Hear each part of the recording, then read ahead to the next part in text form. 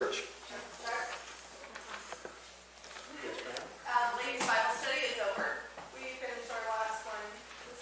sorry, it's still in the book, I I have to be here. Okay, there will be no ladies Bible study this Thursday or until further notice. know. Yes. Okay. Well, one the thing that is happening Thursday, and I, I cannot fail to do this because my wife beat me over the head. But 5:30 is the Easter choir practice, right? 5:30 Thursday here, Easter choir practice, and then be ready for the next day, which is that. Yes. And also today, of course, after service, also wanted to make a call out to the men. When service is over, immediately we need to tear down all the chairs and the monitors and move things around. Nathan and Chuck have graciously built us some new risers, so we're going to bring those onto the stage. So we need a little bit of help setting up, so if you can stick around, it'd be great. And one last thing, I found some reading glasses on the stairs going down to the basement just a few minutes ago, and I put them on that shelf right there um, by the stairs. They're yours, you can find them. Yeah, they're one of those. Uh, yeah, and, and you'll notice that the, uh, the risers are kind of half done. They're not carpeted yet, but that was because there was a, an error in the amount that I brought to cover them. So, but going on, uh, at April 9th, 9 a.m., get that, 9 a.m. is the Easter sunrise service right here. And uh, 9:30, that's the the, uh, Easter sunrise service will be followed by breakfast. And then at 10:30, we'll have the Easter worship service. So, everybody, please come and enjoy our further praise. Yes, ma'am. Um, I just wanted to thank everybody that volunteered to bring food for the Easter breakfast. And uh, please, uh, please uh, think about joining us. Uh, It's a great way to fellowship with our church family members. And the breakfast is always amazing. It's so good. So you don't want to miss it. Thanks. Thank you, Joanne. Uh, Another announcement today that is not in the bulletin is, uh, please remember that the uh, Rocky Mountain Bible Mission sponsors the, uh, the Shepherd's Conference every year, and that's coming up uh, April 18th through the 20th. And everyone is invited. There's a small fee, uh, but it includes lunch and things like that throughout the thing. It's really a good thing. The the theme this year is ancient words, and so it'll be a really good thing. And talk to Pastor Bruce if you, if you want to, uh, to have that, uh, the entry fees uh, covered for you. Uh, Also, uh, I'm told that April 18th at the Community Hall, there's a community council meeting, and this one's kind of special because it involves the uh, law enforcement here in the valley, or like thereof. So, so- so anyway, there are going to be some, some visitors from the county law enforcement, from the uh, county commissioner's office, and from the DA's office. So uh, that's at uh, April 18th at the community hall. I think that's all for the, any other announcements that anybody can think of? Okay. Do we have any first-time visitors? Yes, hello, Brian. I know you, but you're going to get to introduce yourself to everybody. Right down there, there, there's, right there. Turn around, grab the, speak All right, my name's Ryan. First time in here today. Okay.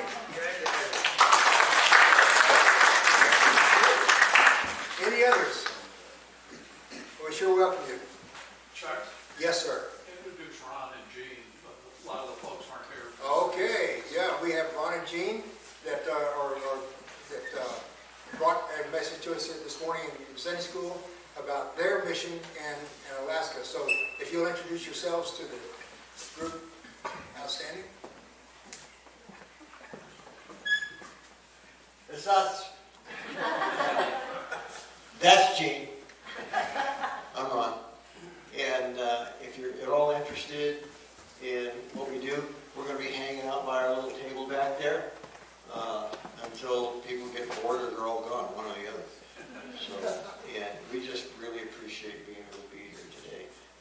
second time we've been able to address this body of Christ, but most of you won't remember because it was quite a while ago. Well, thank you. And thank you for all you do. Okay, uh, birthdays. We have uh, Morgan Broadbent, who's not here today, and Ben Schuman, who's also not here today. So, uh, are there any other birthdays Anniversaries. We have Brian and Marla Bunches. So if you see or talk to them on the phone, be sure to uh, give them our, our best for their anniversary. Any other anniversaries that was not voted? No, moving right along. Okay. Um, I guess that brings us to a short video that uh, Paul wants to present to us. You're on,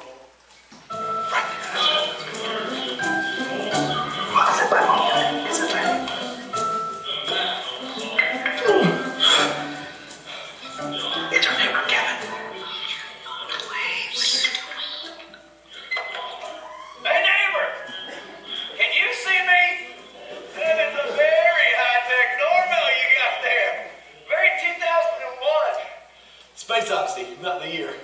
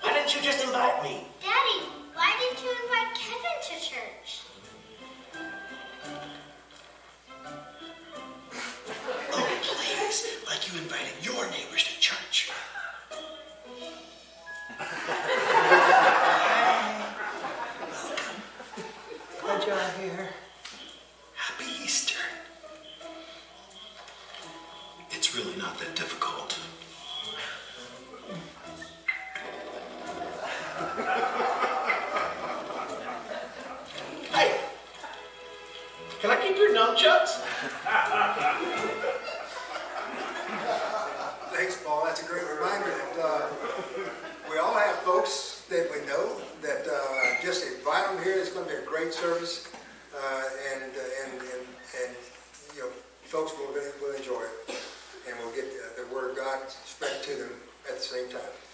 Okay.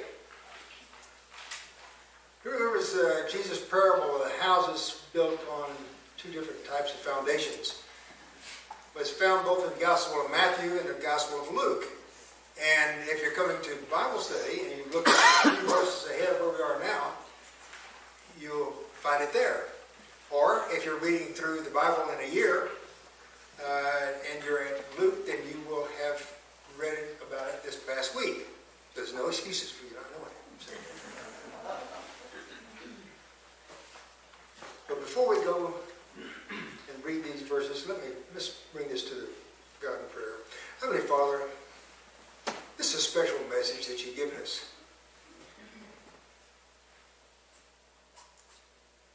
And we all need it. Every one of us need it. So Lord, put your, your Holy Spirit into this and take me out of it. And let your word be heard. In Jesus' name, amen.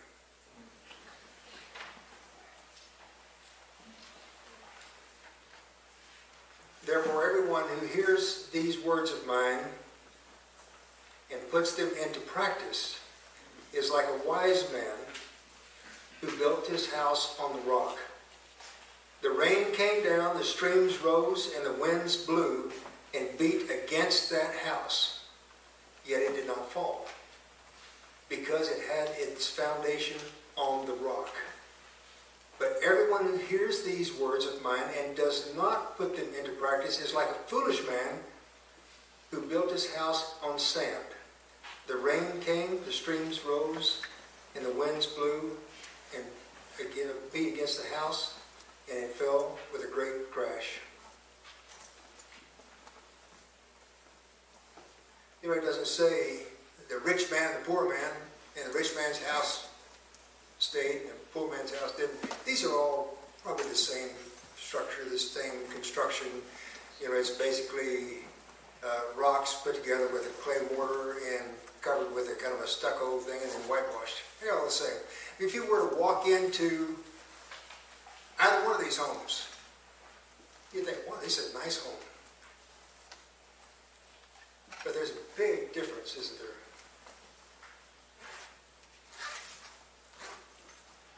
How many people know we're not talking about the construction of homes here? We're talking about people. Both the home builders built a religious structure. Both here and at least outwardly affirm truth. In fact, you can't see the foundation. And that's the point of the analogy. Both look the same, both look impressive, look like impressive religious structures. But there's a massive difference. One is built on the rock of sound doctrine, true repentance, and faith in Jesus Christ, salvation by grace alone. That's not only hearing the words, but doing the words and living the word. The other is built on sand of hypocrisy, false religion, human works, and human religion. One builder did it the hard way. Remember the narrow gate, the narrow path, and the, and the, the, the small gate? It's hard to get through that. Not many people do it. But this man dug deep. He dug to bedrock. Deep repentance, deep and thorough understanding of the gospel and of the person and work of Jesus Christ. Today there are hundreds of thousands of people running around throwing the name of Jesus around, and what does Jesus say? I never knew you at all. They have no real relationship with him because they are hearers and not doers. And you will not always know who's who. It's just like walking into the homes. If you don't see the, the, the, the foundation, everybody looks the same. And that brings us to another thing, is that, you know, we're, we're, we don't have the tools to judge the other folks. And we're talking about people here in the, in the church. We're talking about, I mean, the people who don't hear the word, you know, Jesus is not talking to them. He's saying, you've heard the word, and you're not paying attention, and you're not doing what it's what it says to do. You'll always not, you'll not always know who's who. The rock, the house on the rock, and the house on the sand look essentially the same, same place, same congregation. How do we know who the hypocrites are? Well, you're not really going to know until the storms of life come. And when the storm comes, the rain will fall, the streams will rise, the wind will blow. Those with a solid biblical understanding and who live like that will survive life's storms. We've witnessed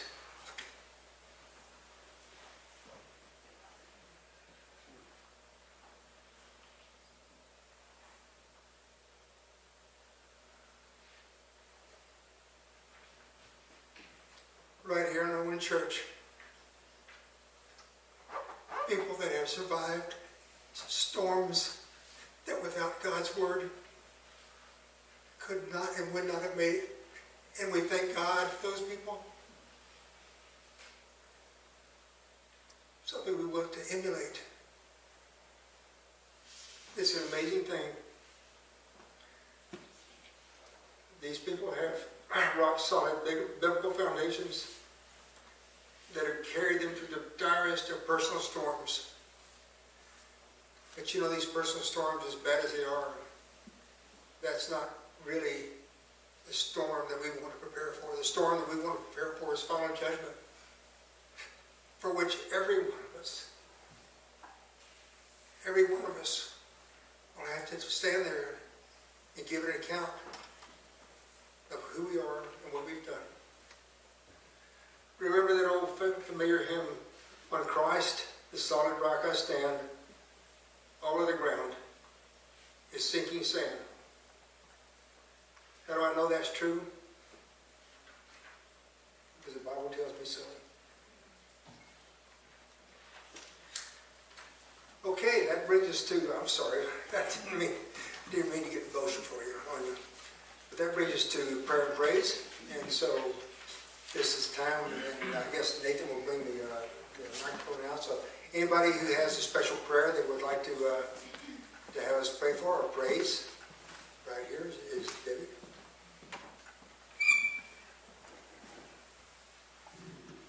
I have a praise once again. Um, a week ago, my son Tyler had to go to Poland. He works for the USO, and uh, he had to do a tour. He had to visit seven bases in a week, and it was pretty grueling. But he said everything went real well, and he's back home safely. Great, great. Good morning. It's so great to be back with my, my church family. Um, I would uh, ask uh, a blessing for uh, Chris. He's still over in Hawaii. He's getting our house over there uh, ready and prepped for sale. Um, because we're bailing out of Hawaii and you guys are going to be stuck with us. So, and that is praise, I'll tell you. It was so great to get off that uh, plane a week and a half ago in Missoula to the most beautiful mountains in the world. The snow yesterday. It's like, what was I doing in Hawaii? So great to see you all. I love you all.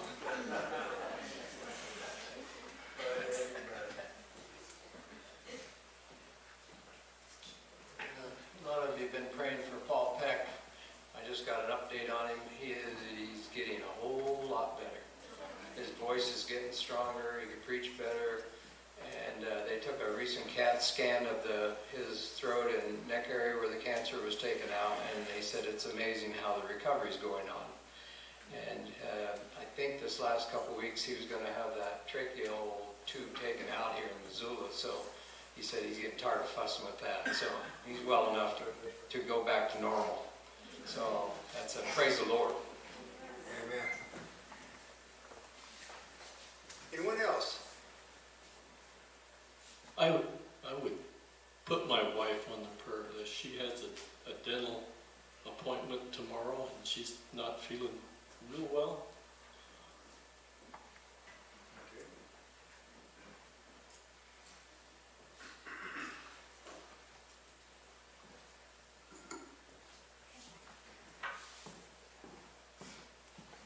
Getting your workout this morning?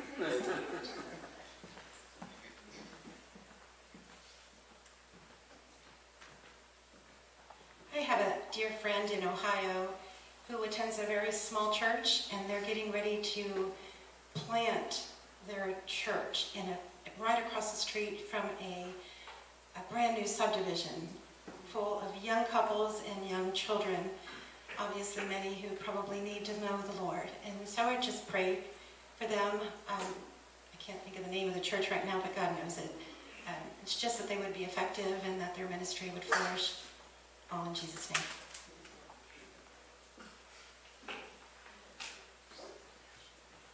Sit down. I want to crack me. While I'm doing this, I think, you know, one of the things we have, Paul's here with us today and, and also Bruce the pastor. Lift up our pastors. It's a spiritual warfare.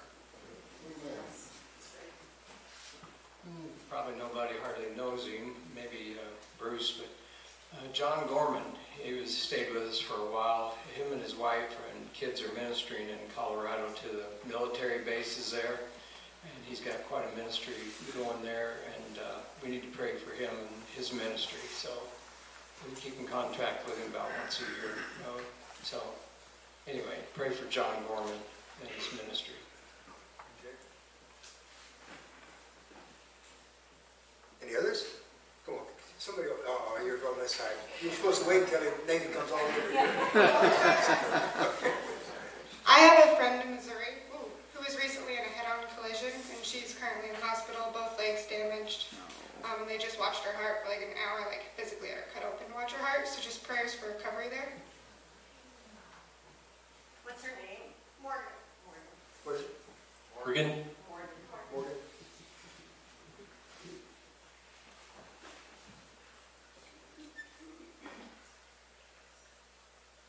Oh, prayers for Tom and Debbie. They're going to be driving back from Traveling? Tom and Debbie Berkeley. Yes, they'll be driving back to Montana this week.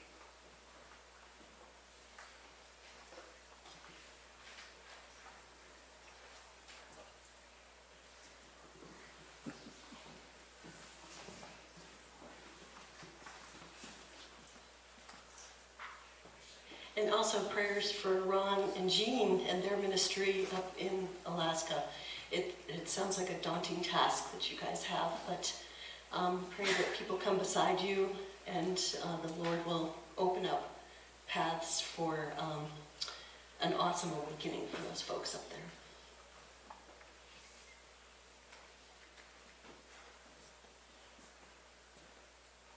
Anybody else? Okay, just a, just a quick word. You guys know that I've, I've been really hard on, on pastors in our country here recently, right? Not, not really getting to the bedrock of what we're all about here. But I gotta tell you, you gotta, you should be really pleased to have the pastor that you have. Because he does, he does it the hard way. I read through the Bible in a year three times while we were going through John. He digs deep. And we appreciate it. Oh, Lord, hear our prayers this morning, Lord. We just praise you for your grace and mercy, and we just ask for that to continue on for us. Lord, we just praise you that uh, you were able to see Tyler through his, his trip through Poland and through all those bases in a week and keep him safe and uh, for what he does there. We do pray also, Lord, that you would just uh, watch over Chris while he's staying in Hawaii and preparing to, to move permanently here with us. Uh, watch over Sandy as she's here by herself uh, for a couple of weeks and for her safe passage back as well. Lord, we praise you for, for the, what you've done with, with Paul Peck, and we just pray with his, his, his cancer, and uh, it, it just seems like he's doing so much better, and we thank you for that. It's a further example of prayers answered. We just pray that you continue to be with him and with his doctors, that he would continue this, this progress. I would ask you to be with Fern as she's uh, not feeling well. She's going in for this dental appointment. We just pray that uh, you'll be with those with those uh, folks that are be ministering to her, and that she'll come out of that really well. You know, we've got another church that's trying to be planted there in Ohio, and it's for your ministry, for your praise, for your worship, and we just pray that you would just be with those folks, that it actually becomes a, a, a working, viable, effective uh, bedrock ministry. Lord, we thank you for Pastor Bruce.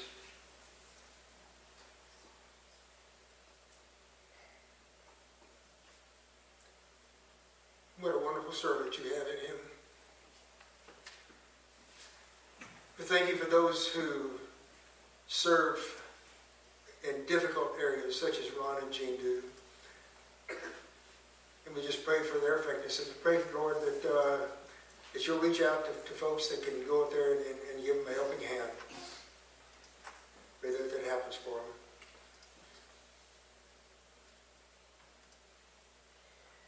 We pray that you'll be with uh, John Garman, who is working your ministry in, in these Colorado bases. Pray that you touch him and send your Holy Spirit over him and those others that, that he's, he's reaching out to. Lord, this young lady who's had the auto crash, uh, Morgan, we pray for her healing. We pray for the, the to be with the, uh, the doctors and by the skill that they have to be able to, to have her come to a full recovery. And Lord, we pray that you be with Tom and Debbie as they return from their trip, return to us. We just pray for, for travel mercies for, for them. We also want to pray especially for our Lifesong International uh, mission and for the, the guy that's, that's leading that, uh, Dennis. They have a they have a tough road there in the Ukraine, Lord, is with the war that's going on and the orphans that they're de dealing with and the mission that they have and they're they just got so many things going on and we would just pray that you would just watch over them and and make them as effective as they can possibly be.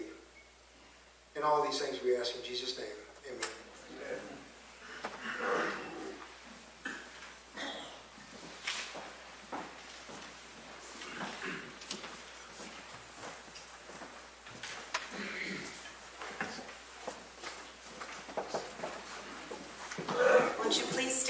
Let's continue our worship. You can turn in your hymnal to 325 if you like. All hail the power of Jesus'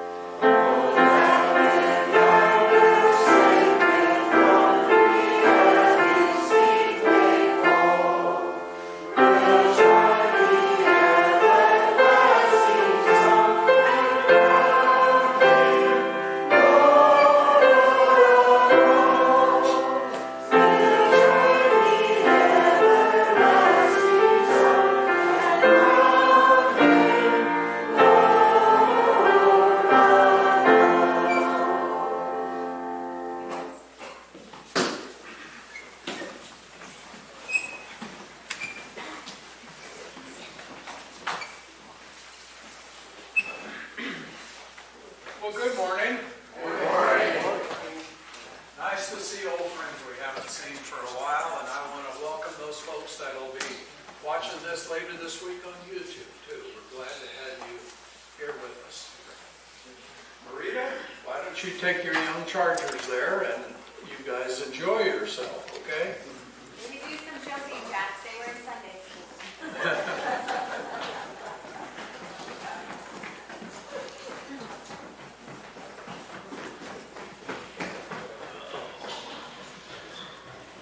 Well, we're going to continue our worship service by taking an offering, so I would ask the the ushers if they would at this time to come forward and do that.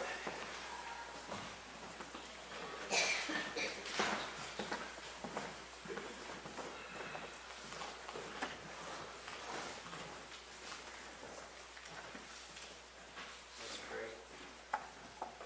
Dear Heavenly Father, we thank you for providing for all our needs. Lord, we thank you for uh, our jobs and our incomes. Lord, we know everything comes from your hand, uh, even the air that we breathe and the water we drink and everything you created. Lord, we ask that you bless this offering now and and that we could use it for your work here and beyond. Lord, thank you for the privilege. Well, I hope you're having a blessed Palm Sunday. And as we, uh, as we enter this Holy Week, why, you've been reminded a couple times already, I'm going to remind you again, folks, their heart seems to be more open, more receptive to at least coming to a fellowship. So if you have the opportunity to invite friends or family to the Easter Sunday service, why, I'd certainly encourage you to do that. And before we go uh, on in, we're continuing through the book of Romans. We're going to start in Romans 14 today. If you weren't in the Sunday school this morning, you really missed a special time. You've already been introduced to uh, Ron and Jean. Uh, if you weren't here, you just you didn't get an opportunity to hear what, what a ministry they have in Copper Center up in Alaska. and they minister to the native community up there. And there is no community anywhere that needs the hope of Jesus Christ more than those folks. And they, I'll tell you what they need. They need finances. We've got the love offering out here. You have a chance today to help. Uh, they have a sign up if you want their newsletter. Catch them out there at the table and sign up for that. And they need people to help. If God puts it on your heart to participate in a short term or probably even a long term missionary effort, they need people that are handy with uh, hammers and nails and chainsaws and uh, I don't know, if you go at the right time of year, you can probably even help uh, Ron pack a moose out. So, but especially they need help for people who have a heart for working with youth. And when you hear the story up there, it'll move you. It moves me right now. And I told the folks at Sunday school, and I'm going to remind you, if God has laid it on your heart to, to uh, perhaps make a short-term missionary trip to help these folks out, and the only thing that's standing in your way is the expense of going to Alaska because it can be expensive, don't let that stop you. Don't let that stop you. You talk to me, you talk to the church elders, and we're going to help you with it, okay? And they need prayer. They covet prayer. So please remember that. 14th chapter of the book of Romans. We're going to look at the first three verses today. You know, back in the 50s and 60s, and a lot of us are old enough to remember that time, there was a very flamboyant and fiery radio preacher, and he became famous for his attacks on everything that he considered evil. Movies, racetracks, dancing, smoking, fluoride in the water system. He was a vehement anti-communist who once claimed that the United States had a moral responsibility to launch a nuclear attack on the Soviet Union. He once denounced American Christians because they refused to rise up, they refused to rise up and stand against attempts to switch temperature measurements from Fahrenheit to Celsius. He claimed that that attempt was nothing but a sneaky communist plot to take over the world by degrees. I apologize. I couldn't help it. Some of this man's fiercest criticism was directed at Christians who disagreed with him on any issue. And that is our lead-in to Romans chapter 14. The truth is, there are many areas of scripture interpretation over which faithful, sincere believers can honestly differ. Differ, I'm sorry. Tragically, though there have always been Christians who insist on dividing with other Christians over trivial issues. And I, I, had a had a thought to an experience in our church in Alaska. Sometimes it's not even biblical issues. Sometimes it can be the color of the carpets.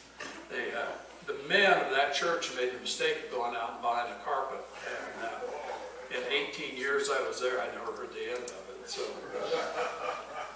so as we examine Romans 14, we see that Paul is addressing indeed an age-old problem and one that is still with us today.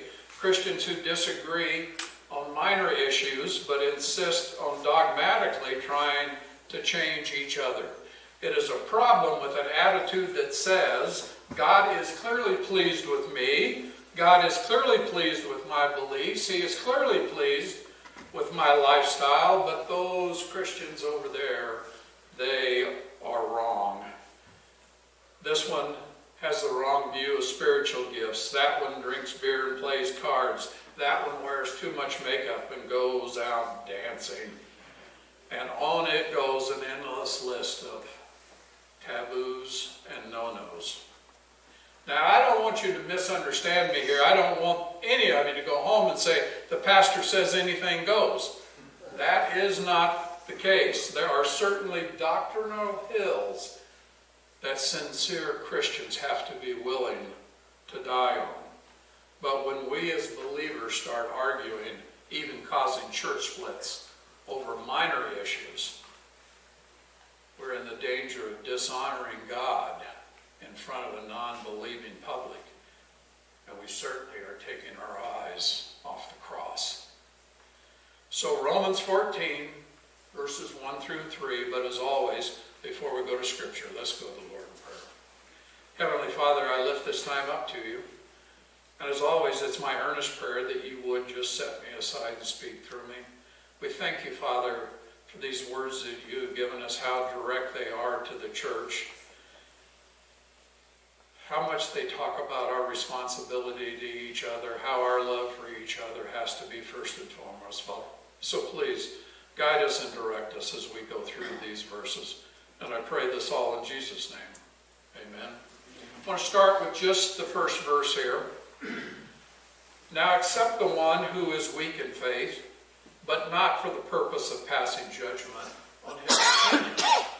And there's a little clarification I want to make. I'm reading from the NASB. If some of you might be following along in another translation, and particularly if you're in the NIV, the NIV, that first verse reads, Accept him whose faith is weak, as opposed to the NAS, which says, Accept the one weak in the faith. You see a little subtle difference there? Faith is weak as opposed to weak in the faith. Now, um, I would submit that the NAS in this case is, is a little more accurate with weak in the faith. It's a distinction that may seem minor, but it does have, it does have some importance. Paul is not talking here about people whose individual faith is weak. He's not talking about people who are, who are troubled, who have questions, who have doubts. We all go through those periods. He's talking about someone that has not yet matured in their understanding or their experience in the Word of God. You know, Jesus himself told us that if we were really his disciples, we must hold to his teachings, and then we will know the truth, and the truth will set us, through, set us free. In other words, a person must hold to the teachings of Christ over time. We must not be satisfied with the little that we know, but we must continually grow in knowledge and experience of truth. And folks, that is a growth, that is a maturity, a maturing, excuse me, that will continue our entire life. And you know what I'm going to tell you. You know what I'm going to tell you. Read your Bible. Read your Bible every day, and before you open it, pray. Pray for the revelation of the Holy Spirit. And understand that Paul is saying that a believer may be considered weak in faith even if he or she has a very strong, vibrant, personal faith. And once that person becomes strong in faith, he or she will understand Christian liberty and be set free. So Paul says, accept the brother or sister who is weak in faith, and do so not necessarily to straighten out your fellow Christian with regard to minor issues, but simply to show him or her the same love that God has shown you through Jesus Christ. The first words exchanged between you and a fellow believer should not be a dispute recognition that you belong to one another in the body of Christ. See, there are two major distortions that can hinder the unity of the body. That is the church. And they're the flip side of the same coin. One is professing Christians who continue in willful sin. The other is legalism. Legalism binds the freedom that grace gives. Legalism makes minor matters into the test of true spirituality. You may have encountered Christians who say the essence of spirituality is to refrain from such things, again, as dancing, alcohol, or movies. The creed becomes touch not, taste not, handle not. People substitute minor matters for the fruit of the Spirit, and they use adherence to those minor matters as a test of righteousness. Either distortion, either far side of the spectrum, either willful sin or legalism can cause problems in the Christian life.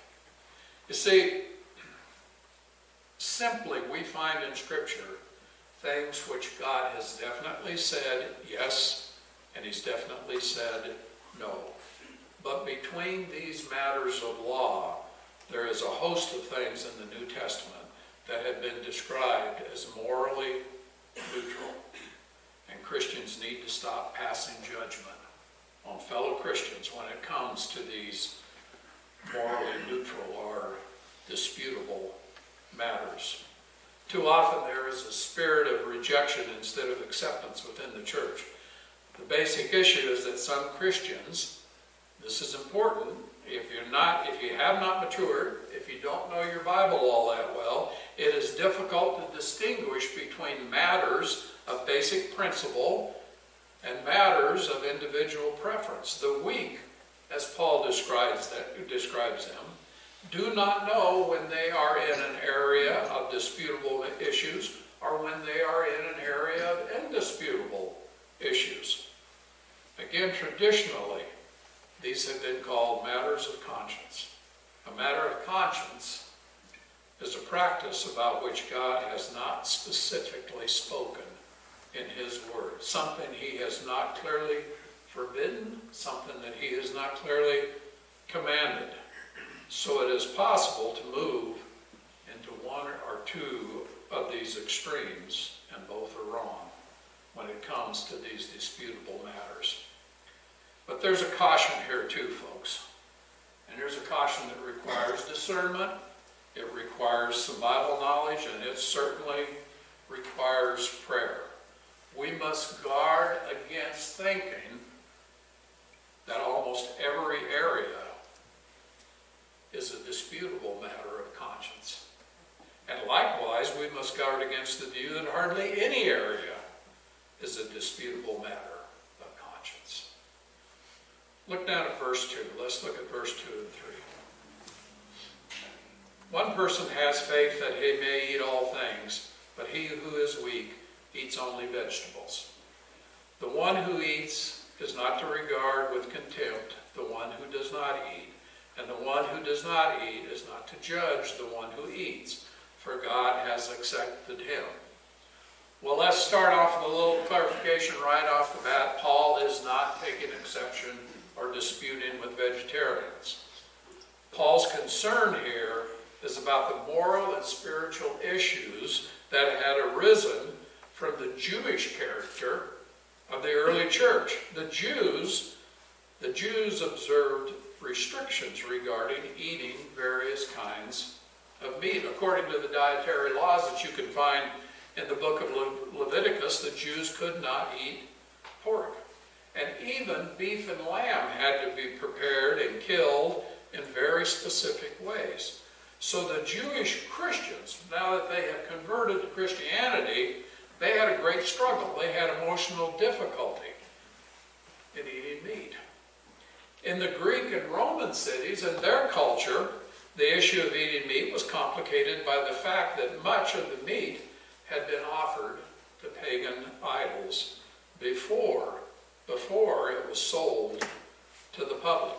Some Christians believed then that eating meat uh, was the equivalent of participating in idol worship. Other Christians said no, meat is meat, and the fact that someone else offered this meat as an idol doesn't mean that I'm an idolater. So we have these two viewpoints. We have the very narrow and we have the very broad. As Christians, we don't deal with these issues of meat sacrificed to idols anymore, but that's actually beside the point. The principle Paul urges us to adopt is valid through all time and in an endless variety of situations. Whenever two believers find themselves on opposite sides of an issue, that one that is not clearly addressed in Scripture, then Christian love must prevail. In our own culture, the issue may have to do with whether it is not, whether it is right for a Christian to drink wine or beer, whether Christians should support military action or be pacifists, whether Christians should adopt this or that position on baptism or eschatology. And you can probably think of other issues from your own experience. Of course, some of these are absolutely not debatable because they are clearly addressed in Scripture. Whether or not it is permissible for a Christian to drink beer or wine, it is always wrong for a Christian to be drunk because Scripture tells us that in no uncertain terms. It is always wrong to commit sexual acts. It is always wrong to hold a doctrinal view that violates Scripture such as a belief that the Bible is not the inspired Word of God, or perhaps a belief that Jesus was not born of a virgin and he was not raised from the dead. Those folks are doctrinal hills that we must die on. But there again are many areas of Scripture that are left open and unaddressed. It's kind of interesting. If the Apostle Paul would have wanted to have given a firm yes or no answer to these issues, he could have done so right here in this passage. He could have settled these issues for all time, but he doesn't do so. And you know why he doesn't do so? Because God himself did not do so. There are areas that God deliberately leaves to individual discretion. He expects believers to thoughtfully and prayerfully consider the issue, weigh the moral pros and cons, and then act in accordance with their individual convictions. And you know, I fight on those individual convictions, folks, on these minor things, if the Holy Spirit has really directed you, convinced you, that that is what you should do, that is what you should observe, then do it. Then by all means, do it. We might have a conversation, I might have a different opinion on it, but if you have been convicted that this is what God would have you do, then do it. The other thing I got to thinking about our Wednesday night Bible study. I find these debatable issues to make Bible studies interesting. I do. Because they should drive you deeper into prayer, deeper into your Bible study. Leon has been leading our Bible study, I, man, I mean a long time. Ten years, Leon, maybe? I don't know. It's been a long time. And sometimes Leon and I have differing opinions on these debatable issues. I feel sorry for Leon being wrong.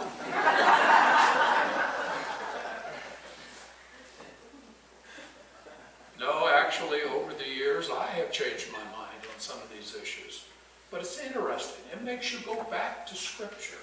It makes you go to prayer, or at least it should. If you read through the Bible one time and you had it and it was done, the temptation would be, why do it again? And that's an amazing book. I find something new in there every time I go through it. But folks, you can read the Bible until the cows come home.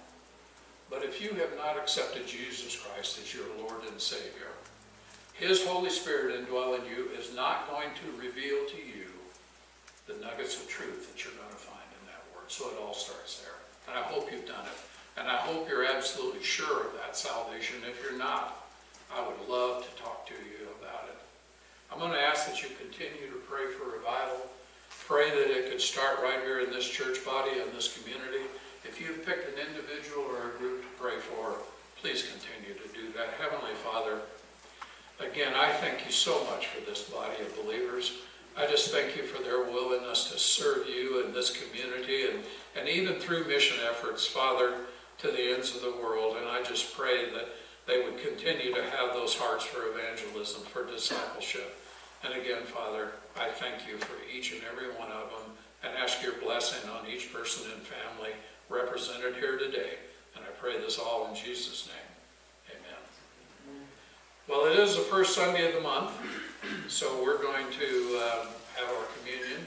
And I'm going to ask uh, Chuck, would you and Leon and uh, Raj, would you come up and give me a hand, please?